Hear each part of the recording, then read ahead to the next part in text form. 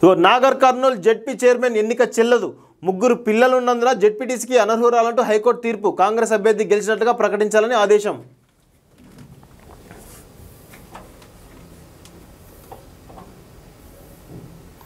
ఇగో ముగ్గురు పిల్లలంతా జెడ్పీటీసీగా అనర్హురాలంటూ హైకోర్టు తీర్పు. కాంగ్రెస్ అభ్యర్థి గెలిచి గెలిచినట్టుగా ప్రకటించాలని ఆదేశాలు.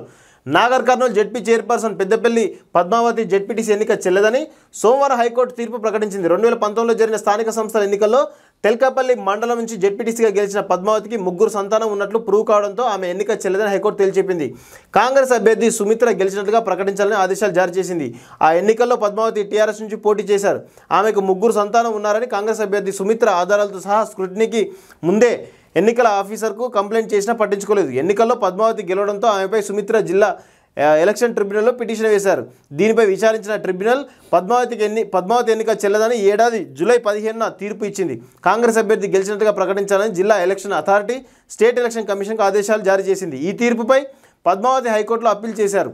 విచారణ అనంతరం హైకోర్టు కూడా సోమవారం ఆమె ఎన్నిక చెల్లదంటూ తీర్పు చెప్పింది. అయితే హైకోర్టు ఉత్తర్వుల ప్రకారం ఆమెను అనర్హురాలుగా ప్రకటిస్తారా? లేదంటే హైకోర్టు ఫుల్ బెంచ్ ముందు అప్పీల్ పిటిషన్కు ఛాన్స్ ఇస్తారా అనేది తేలాల్సింది పద్మావతి ఫుల్ బెంచ్కి అప్పీల్ చేయని పక్షంలో ఆమె వారసురాలుగా జెడ్పీ చైర్మన్ పోస్టుకు కల్వకుర్తి జెడ్పీటీసీ భరత్ ప్రసాద్ నాగర్ కర్నూలు ఎంపీపీ రాములు కొడుకోట.